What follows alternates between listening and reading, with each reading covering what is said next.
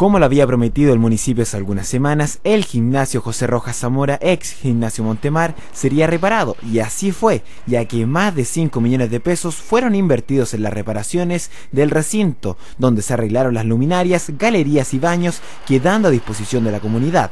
Además, se envió un proyecto al gobierno regional para efectuar una remodelación mayor del gimnasio. Consignar que esto es una reparación provisoria, hay un proyecto que fue presentado al gobierno regional para hacer ya una reparación eh, mayor.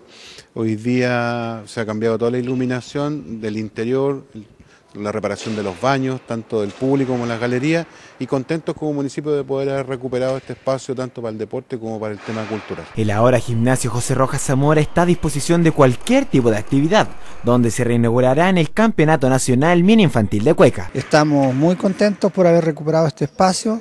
Hay gran expectativa, de hecho los talleres ya están trabajando, retornaron a, este, este recinto.